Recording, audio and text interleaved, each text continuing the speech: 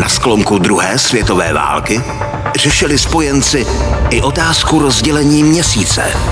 Řekli jsme, že jdeme. A ukázali jsme to i celému světu, že jdeme vlastní cestou.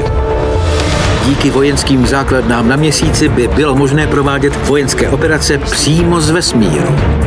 Na povrchu našeho nejbližšího souseda byl umístěn znak Sovětského svazu. Bitva o měsíc ve středu ve 20 hodin na CS History.